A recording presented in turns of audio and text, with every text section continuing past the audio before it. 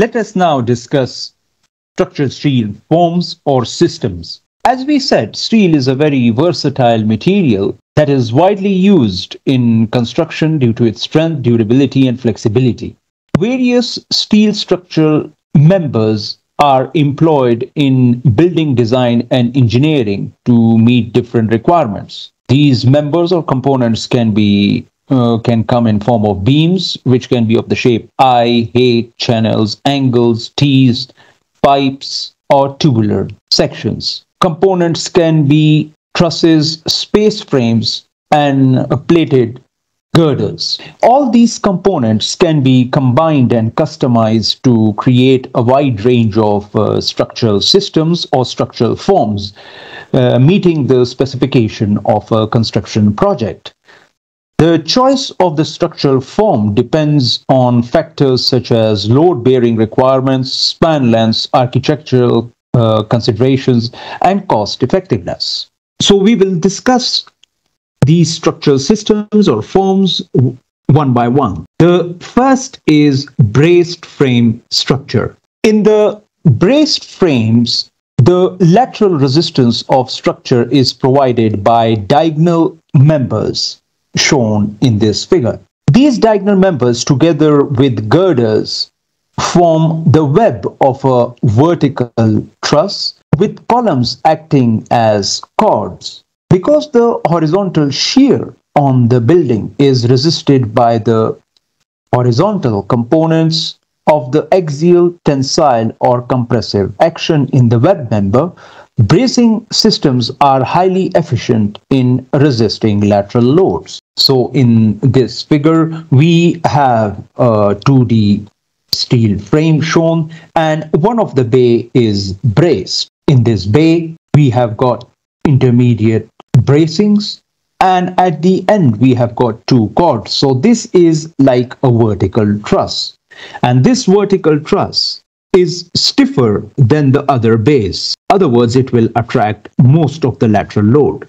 Now this vertical truss has got internal braces and external chords. The internal braces will attract the maximum proportion of the load and a small proportion will go into the chords.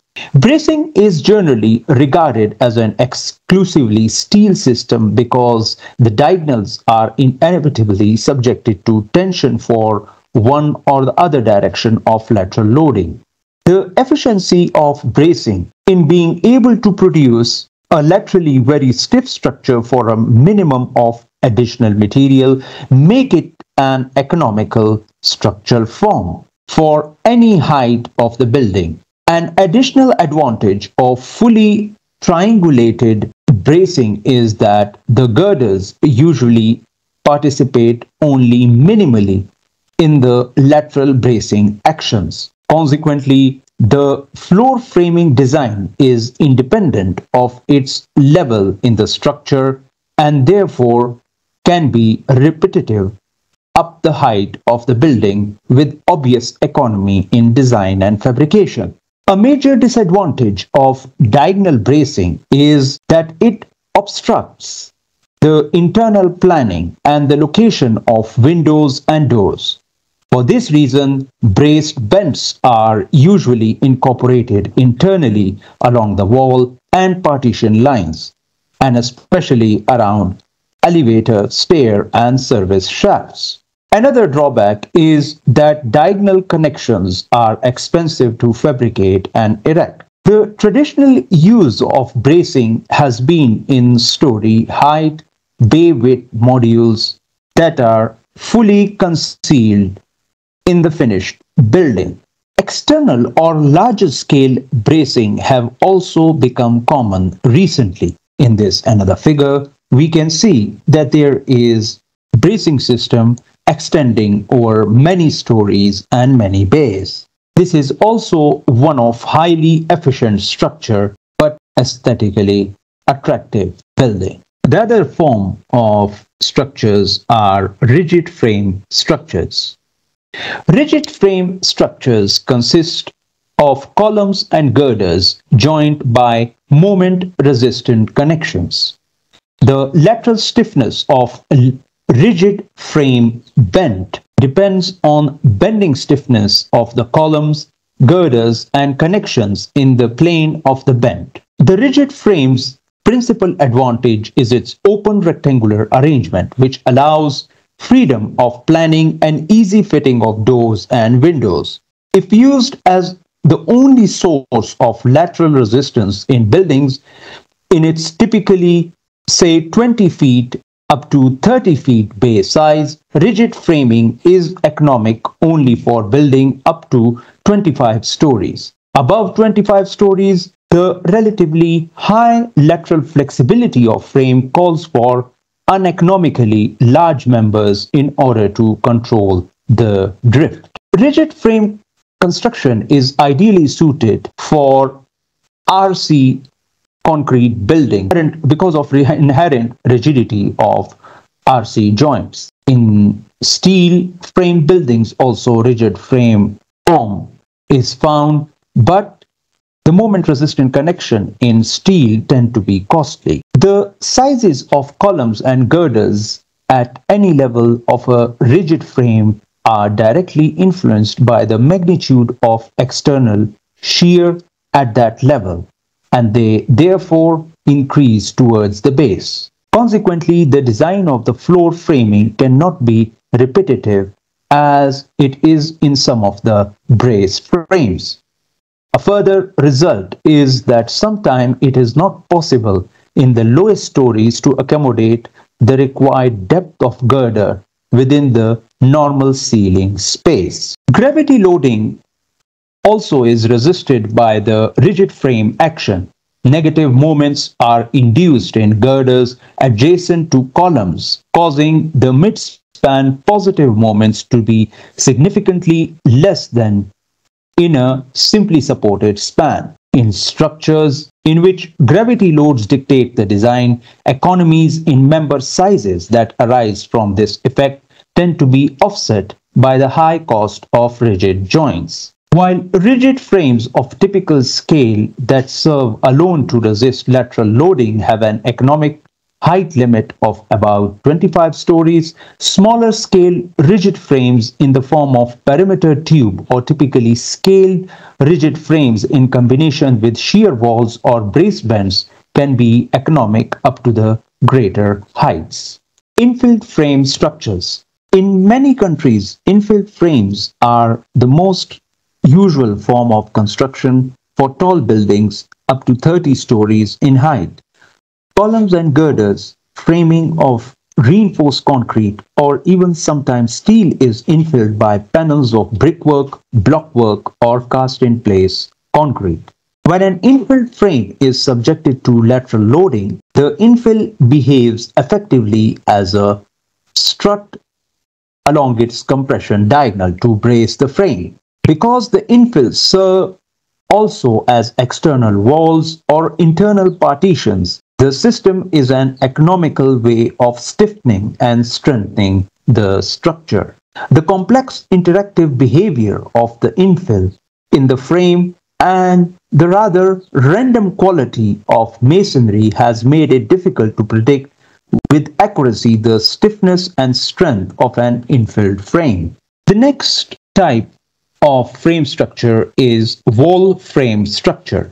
In the case of wall frame structures, we have got shear walls combined with rigid frames in which the walls tend to deflect in a flexure configuration and the frame tend to deflect in a shear mode. Both the shear mode of deflection and the flexure mode of deflection make a common deflected shape of the wall frame structure. The walls and the frames are constrained to adopt a common deflected shape by the horizontal rigidity of the girders and slabs. Consequently, the wall and frames interact horizontally, especially at the top, to produce a stiffer and a stronger structure. The interacting wall frame combination is appropriate for buildings in the 40 to 60 story range, well beyond that of rigid frame structures. An additional less known feature of the wall frame structure is that in a careful tuned structure, the shear in the frame can be made approximately uniform over the height, allowing the floor framing to be repetitive. Although the wall frame structure is usually perceived as a concrete structure form with shear walls and concrete frames, a steel counterpart using brace frame and steel rigid frames offer similar benefits of horizontal interaction. The braced frames behaves with an overall fracture tendency to interact with the shear mode of the rigid frame. Now we move to frame tube structures. The lateral resistance of a frame tube structure is provided by a very stiff moment resistant frame that forms a tube around the perimeter of the building. The frames consist of closely spaced columns, 6 to 12 feet between the centers, joined by deep spandrel girders, as shown in this figure. So we have in this figure a perimeter rigid frame wrapped around the whole building. Although the tube carries all the lateral load, uh, the gravity load is shared between the tube and the interior columns or walls. When lateral loading acts, the perimeter frames align in the direction of loading act as the webs of the massive tube cantilever and those normal to the direction of the loading act, act as a flange. The close spacing of the columns throughout the height of the structure is usually unacceptable at the entrance level. The columns are therefore merged or terminated on a transfer beam a few stories above the base so that only a few larger, more widely spaced columns continue to the base. The tube form was developed originally for buildings of a rectangular plan and probably its most efficient use is in rectangular shape. However, it is appropriate for other plant shapes and has occasionally been used in circular and a triangular configuration. The tube is suitable for both steel and reinforced concrete construction and has been used for buildings ranging from 40 to more than 100 stories. The highly repetitive pattern of the frame lends itself to prefabrication in steel and to the use of rapidly moving gang forms in concrete which make it rapid constructions. The highly repetitive pattern of the frame lends itself to prefabrication in steel. The frame tube has been one of the most significant modern developments in the high-rise structural forms. It offers a relatively efficient, easily constructed structure appropriate for use up to greatest of heights. Aesthetically, the tube the tube's externally evident form is regarded with mixed enthusiasm. The next structural form is tube-in-tube structures. This variation of frame tube consists of an outer frame tube, which is called the hull, together with an internal elevator and service core.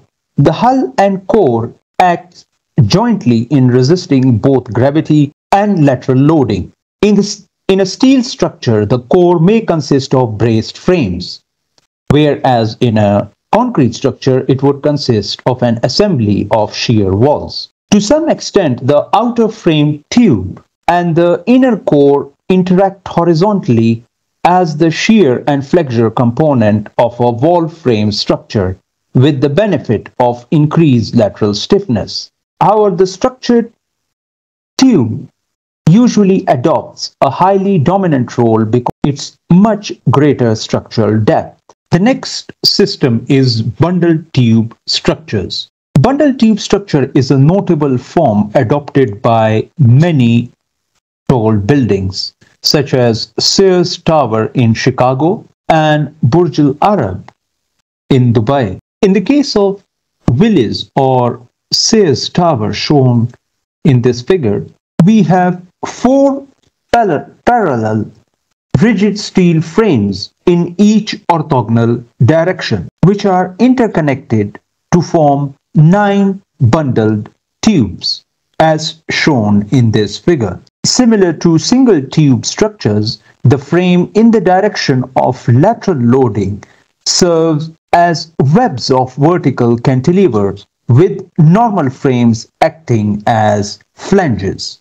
The introduction of internal webs greatly reduce the shear lag in the flanges. Consequently, their columns are more evenly stressed than in a single tube structure, and their contribution to lateral stiffness is greater. This allows the columns of the frame to be spaced further apart and to be less uh, obtrusive. In the Sears or Willis Tower, advantage was taken of the bundled form to discontinue some of the tubes and so reduce the plan of the building at stages up the height. This same trend is followed in Burj Al Arab.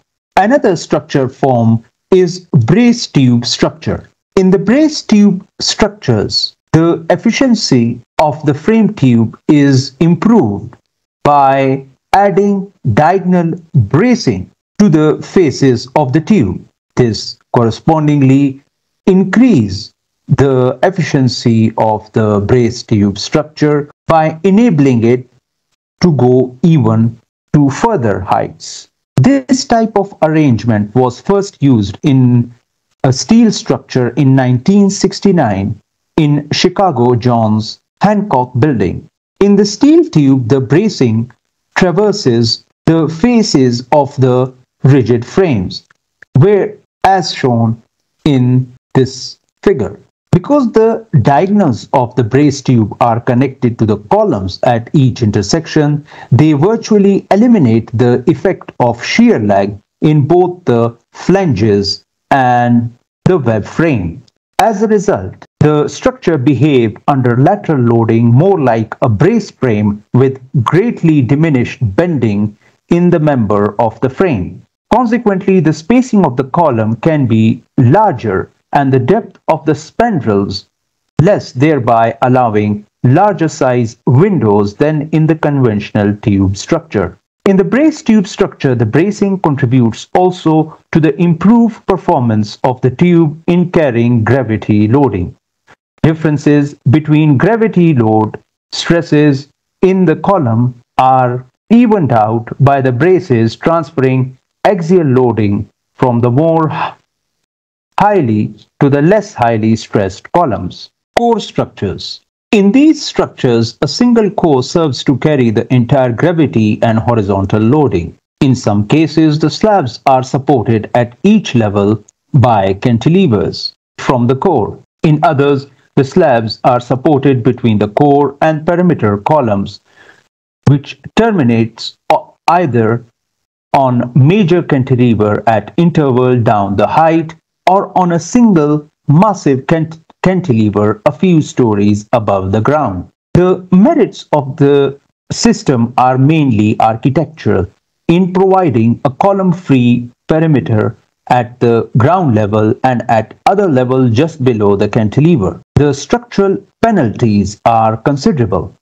However, in having only the small effective structure depth of the core and therefore being inefficient in resisting lateral loading as well as in supporting the floor load by cantilevers, which is a highly inefficient structural component. Outrigger brace structure. This efficient structural form consists of a central core comprising either brace frame or shear walls with horizontal cantilevers, outrigger trusses or girders connecting the core to the outer columns. When the structure is loaded horizontally, vertical plane rotation of the core are restrained by the outriggers through tension in the windward columns and compression in the leeward columns. The effective structural depth of the building is greatly increased thus augmenting the lateral stiffness of the building and reducing the lateral deflections and moments in the core. In effect, the outriggers join the column to to the core to make the structure behave as a partly composite cantilever. Perimeter columns, other than those connected directly to the end of the outriggers, can also be made to participate in the outrigger action by joining all the perimeter columns with a horizontal truss or girder around the face of the building at the outrigger level. The large, often two-story depths of the outrigger and the perimeter trusses make it desirable, desirable to locate them within the plant level in the building. The degree to which the perimeter columns of an outrigger structure behave compositely with the core depends on the number of levels of the outriggers and their stiffnesses. Multi-level outrigger structures show a considerable increase in their effective moment of resisting over single outrigger structures. This increase diminishes, however, with each additional level of outrigger, so that four or five levels appear to be economic limit. Outrigger brace structures have been used for building from 40 to 70 stories high, but the system should be effective and efficient for much greater heights. Suspended structures. The suspended structure consists of a central core or cores with horizontal cantilevers at roof level to which vertical hangers of steel cable, rods or plate are attached. The floor slabs are suspended from hangers. The advantages of this structure form are primarily architectural in that, except for the presence of central core, the ground story can be entirely free of major vertical members, thereby allowing an open concourse. Also, the hangers, because they are in tension and consequently can be of high strength steel, have a minimum size section and are therefore less obtrusive. The potential of this later benefit tends to be offset, however, by the need to proof the hangers against fire and rust, thereby significantly increasing their bulk. The suspended structure has some construction advantages in allowing the core cantilevers and hangers to be constructed while the slabs are being poured on top of each other at ground level. The slabs are then lifted in sets and fixed in position. This is shown in the second figure over here. The structure disadvantage of the suspended structure is that it is inefficient in first transmitting the gravity load upward to the roof level cantilevers before returning them through the core to the ground and that structural width of the building at the base is limited to the relatively narrow depth of the core. This restricts the system to building of lesser height. A further problem is caused by the vertical extension of slender hangers that over the range from zero to full live loading can result in significant changes in the levels of the edges of the slab. This effect increases at each level down the length of the hanger and consequently is worst at the lowest hung floor. The problem can be limited by restricting the maximum number of floors supported by single length of hanger to about 10 and by having multi-level cantilever systems. Similarly to outrigger structures and for the same reason the cantilevers are normally incorporated within the plant level. Variations from the single core hanging structure include two and four core structures in which vertical hangers are suspended from massive girders that span between the cores, or in which hangers are draped catenary fashion between the cores. The benefits of such multi-core hanging structure include large open floor spaces at all levels and the possibility of column-free ground story. The final structure form is space structures. The primary load resisting system of a space structure consists essentially of a three-dimensional triangulated frame as distinct from an assembly of a planar bench whose members serve dually in resisting both gravity and horizontal loading. The result is a highly efficient, relatively lightweight structure with a potential for achieving the greatest heights. The, The 76 story HSBC Bank or Hong Kong Bank of China building is a classic example of space structure. Although simple in their overall concept, space structures are usually geometrically complex, which calls for considerable structure ingenuity in transferring both the gravity load and the lateral load from the floors to the main structure. One solution is to have an inner braced core which serves to collect the lateral load and the inner region gravity loading from the slabs over a number of multi-story regions. At the bottom of each region, the lateral and gravity loads are transferred out to the main joints of the space frame. Let us dig a bit deeper into the understanding of Bank of China building.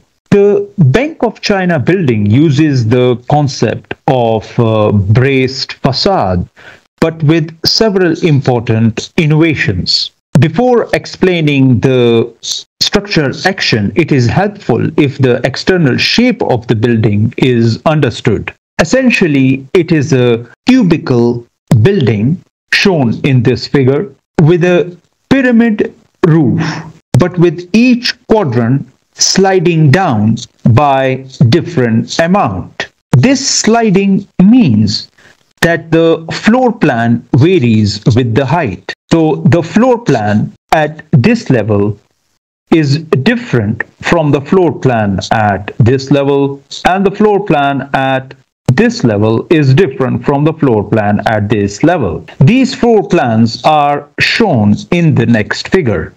So from level 4 to 18, we have got a square floor plan having four mega columns. From level 19 till 31, we have got a floor plan in a form of polygon having five mega columns. From level 32 till 44, we have got a triangular floor plan having 5 mega columns. Finally, between levels 45 till 70, we have a triangular floor plan having 3 mega columns.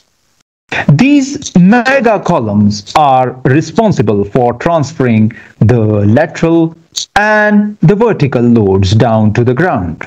Thus, we can say that the Bank of China building uses a so-called mega structure as the primary load path for the wind loads and the vertical loads. This mega structure is in the form of huge columns shown over here. The Bank of China building is a stack of five 12-story buildings, each of which is supported by the mega structure.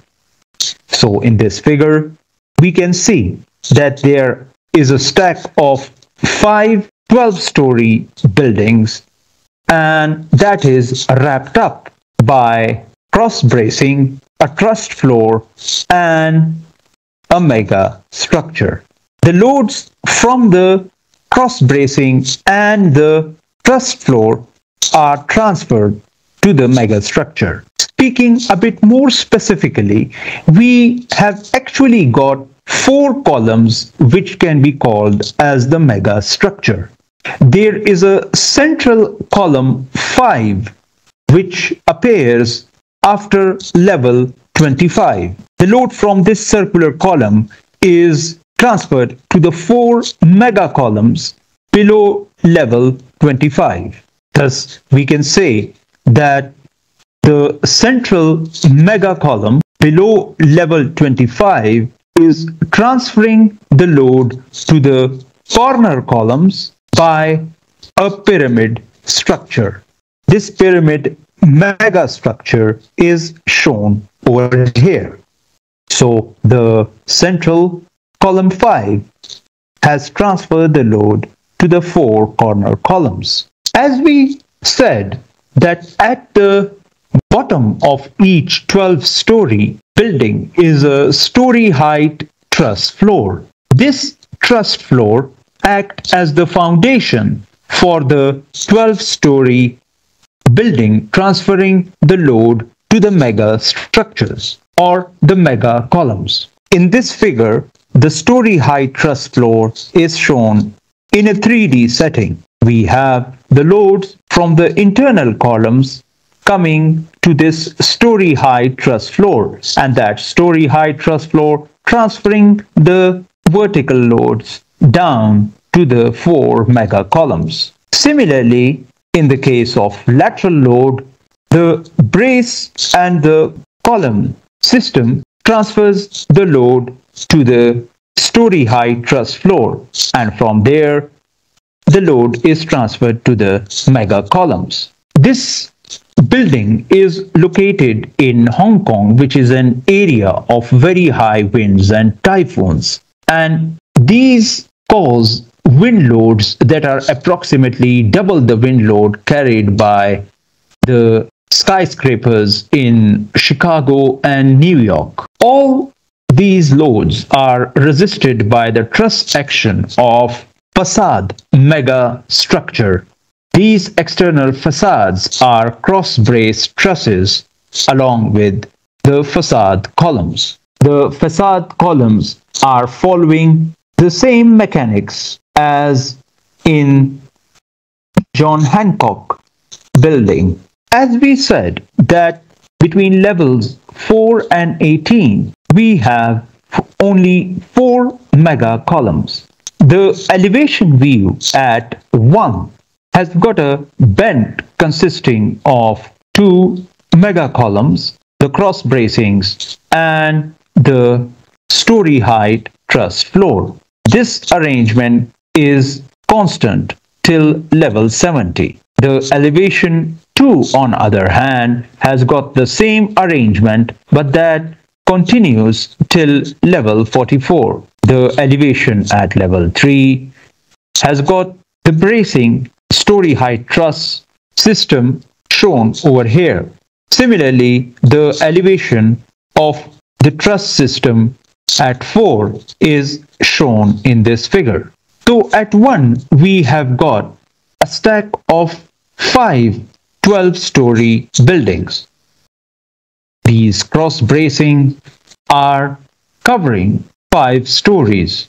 At elevation 2, on other hand, we have got only 3 stack of 12-story buildings.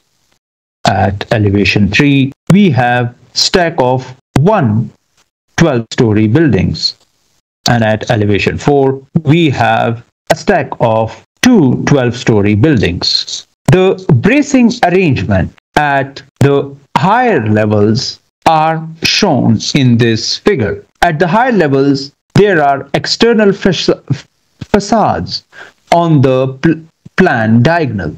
These facades have diagonally braced trusses. Thus, between level 44 and 40, we have a diagonal brace truss at location 5 of the plan. At location 6, on other hand, we have a diagonally braced truss system shown in this figure. Similarly, at location 7, we have a diagonal brace system shown over here between level 18 and 31. The vertical loads from the floors are transferred to the four corner mega column. These loads counteract the tension force caused by the wind loads on the facade mega trusses. This maintains upward reaction at the base of the building under wind loading. Thus, as shown in this figure, we have got the lateral load and the gravity loads applied on the facade megastructure. Adding them up, make sure that uh, there is no uplift generated at any of the mega column. At the bottom of the tower, the horizontal wind load as well as the vertical load has to be transferred to the ground. In the Bank of China building, this is done by providing horizontal and vertical structures to transfer these forces to the concrete walls that are below the ground. These concrete walls are actually perimeter walls of the basement. For the horizontal wind forces, there are five elements in the load path. The first one is the facade megastructure. The second one, a horizontal steel diaphragm structure at level 4. The third one, a vertical steel concrete core between level 4 and the foundation. The fourth one is the horizontal concrete diaphragm structure at level 0. And the fifth one is the vertical concrete perimeter basement walls. All these five elements in the load path contribute for transferring the horizontal wind forces to the ground. In this figure, we have got a facade megastructure shown over here.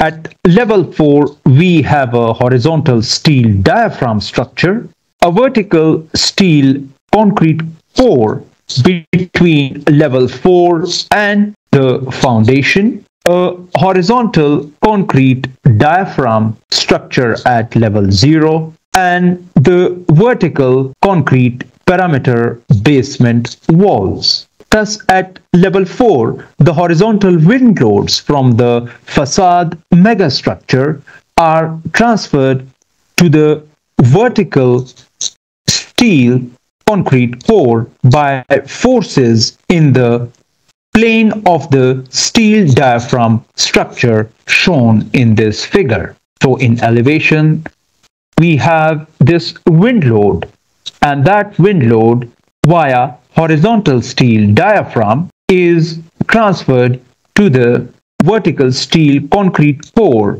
From this vertical steel concrete core or tube these horizontal loads are transferred in the form of shear forces to the concrete diaphragm. From the concrete diaphragm, these shear loads are then transferred to the perimeter walls. There are also vertical forces in the core caused by the push-pull forces from the bending moment. These are carried down to separate core foundation. So as we can see over here, the wind load at level 4 will cause some push-pull forces in the steel concrete tube. And these push-pull forces are separately brought to the ground by the structure shown underneath the steel concrete tube.